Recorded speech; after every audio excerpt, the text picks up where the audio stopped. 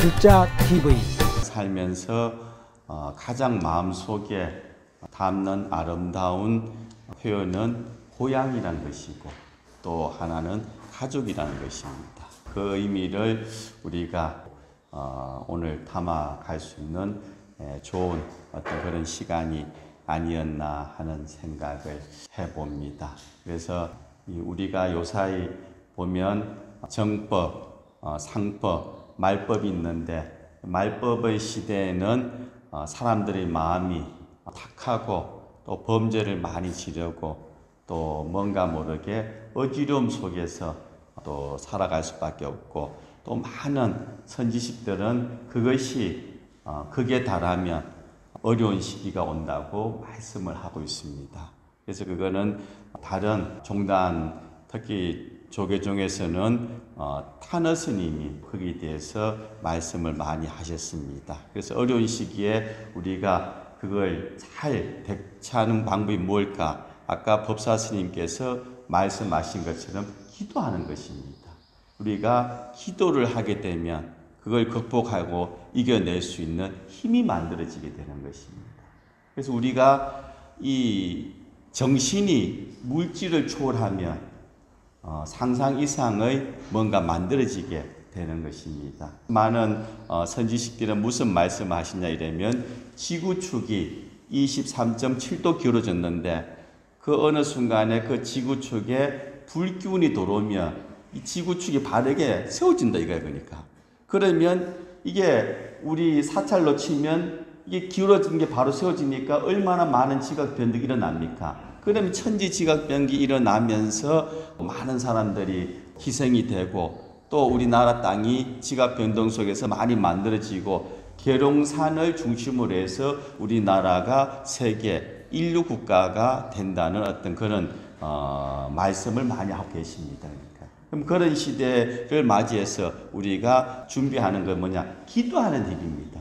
기도하는 힘을 바탕으로 했을 때 뭔가 불교는 자비심입니다. 자비란 건 뭔가 내 자신을 희생해서 남을 살리는 겁니다. 그랬을 때 그런 어떤 시대가 안 오고 또 살기 좋은 시대를 맞이할 수 있는 것이고 그런 지각 변동이 일어났다 하더라도 많은 희생 없이 뭔가 모르게 우리 대한민국이 바로 어, 세계 중심이 될 수 있는 그런 국가로 만들어지는 것이고 그걸 위해서 조아스님께서는 백만동 실천을 말씀하셨습니다. 백만동의 그 힘이 나비의 날개짓이 기류가 되면 큰 태풍이 되는 겁니다. 우리 신도님들이 백만동 한그 기도의 힘이 한 사람 또 백 사람, 천 사람, 만 사람, 수십만, 수백만 됐을 때 그 힘이 정말 어, 아름다운 어떤 그런 불국 종토, 희생 없이 만드는 그런 미끄럼이 되지 않을까 하는 생각을 해봅니다. 그래서 우리가 오늘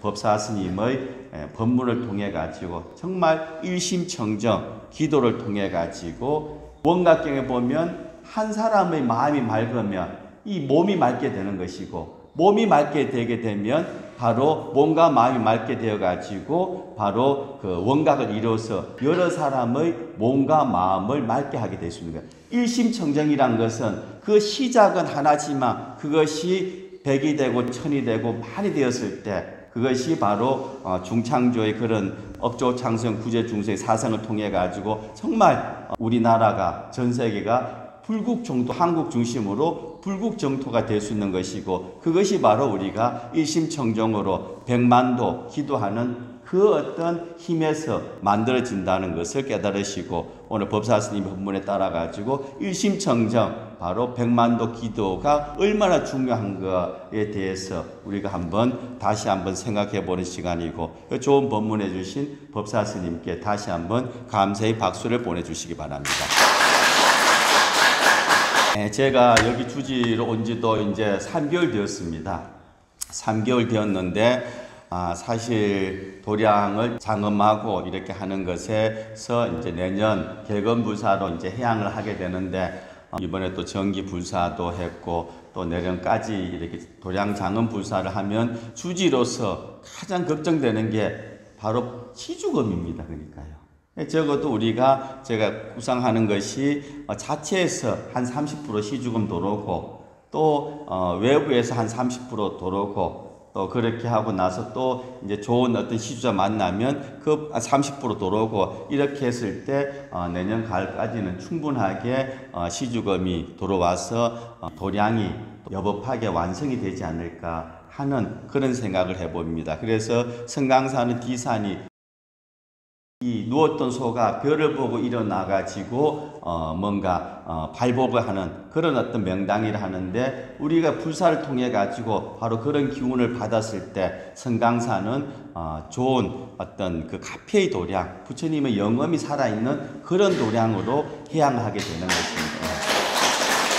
네, 힘드시더라도 이해해 주시고 또 인등도 어, 새롭게 제작하고 있습니다. 왜 없나 하지 마시고 50분 50분 해가 여법하게 제작을 이렇게 하고 있고 그 기간 동안에 이름표를 이제 상단에 모셨습니다. 그래서 내년 가을 예, 도량이 장엄되는 것을 보시고 나서 바로 우리 마음속에 일심청정으로 백만독을 했을 때 도량이 바뀌는 것처럼 해서 바로 내가 바뀌고 바로 가정이 바뀌고 바로 그리고 우리나라가 바뀌고 세계가 바뀌어서 불국 종토가 될 수 있다는 바로 억조 창생 구제 중생 그 조사 스님의 그 소중한 사상을 우리가 다시 한번 생각해 볼 수 있는 그런 좋은 시간을 갖게 되는 것이고 그리고 그게 더 한번 더 붙여서 말씀드리면 우리가 세상을 살면서 농사 지을 때 그리고 수확할 때 그리고 누릴 때 이걸 잘해야 되는 겁니다.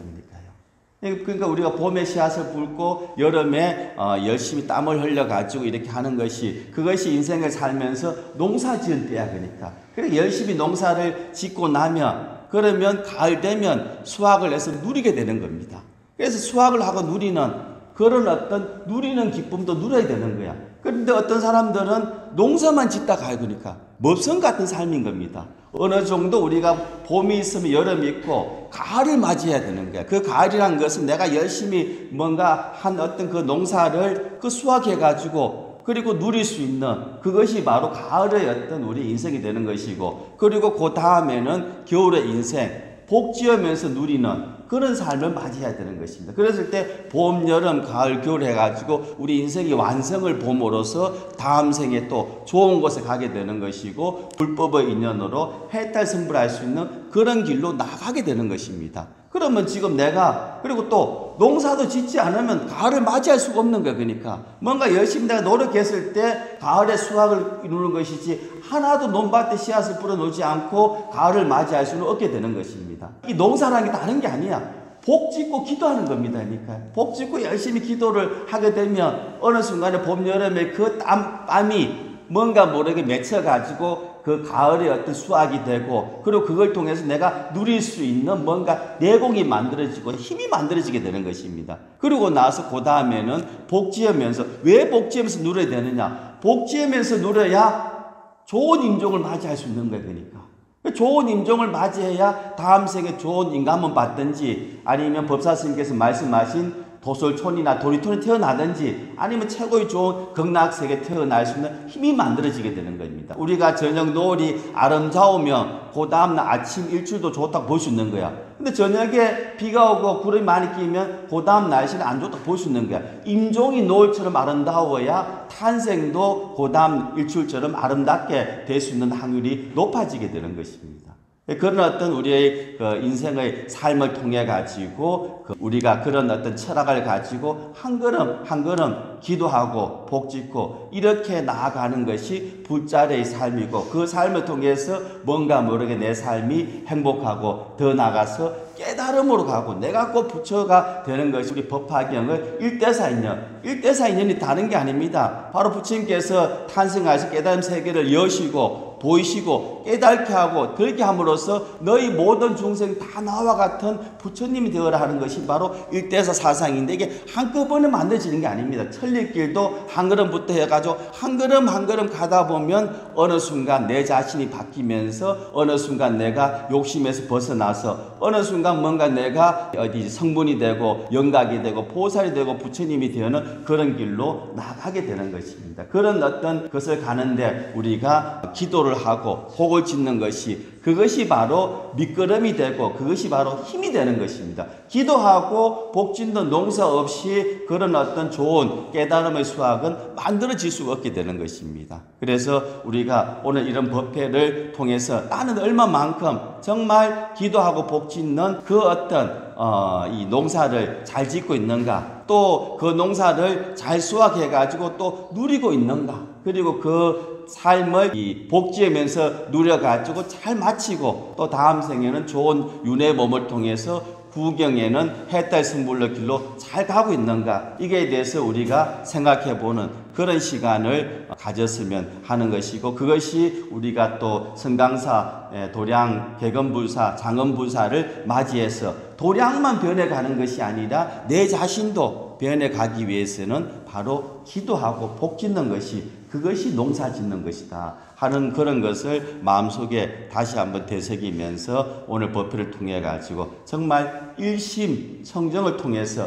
연꽃의 주인공이 여러분들이 되시고 그 연꽃의 힘으로 주변의 많은 사람들이 행복해 줄 수 있는 바로 그 일심성정이 그 일심이 상청정하면 처처의 낙이니라 남이 하는 것이 아니라 여러분들이 주인공이 될 수 있는 그런 어떤 좋은 그 마음속에 그 씨앗을 심고 또 복을 지으면서 기도하면서 그걸 담을 수 있는 좋은 어떤 그런 첫걸음의 법회가 되기를 기원드리면서 인사 말씀을 마치겠습니다. 성불하십시오.